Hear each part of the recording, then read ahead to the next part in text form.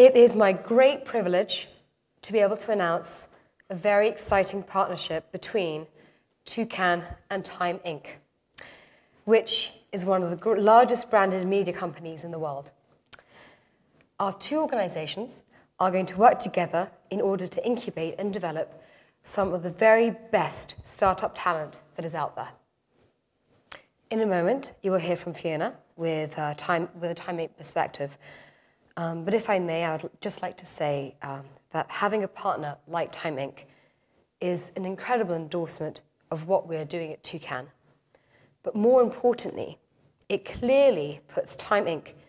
in a truly unique category. A multinational company investing time, energy, and resources into meaningfully supporting entrepreneurs. And this partnership gives us the opportunity to demonstrate that it is possible to invest into young companies both for profit and for the greater social good. We're extremely pleased to be teaming up with Rasher and Toucan as a way of helping entrepreneurs.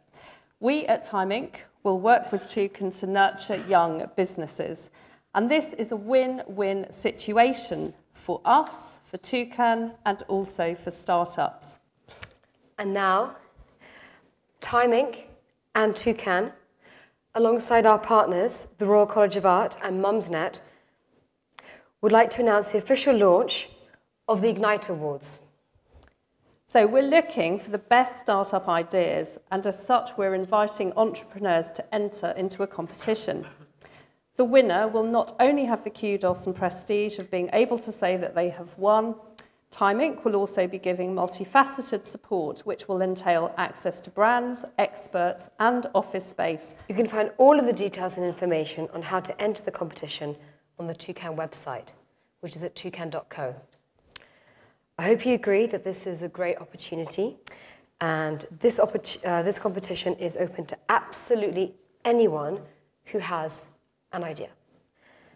My warmest gratitude again to my partners at Time Inc., the RCA, and Mumsnet for making this competition possible. We all look forward to reading your entries and to helping making your dreams become a reality.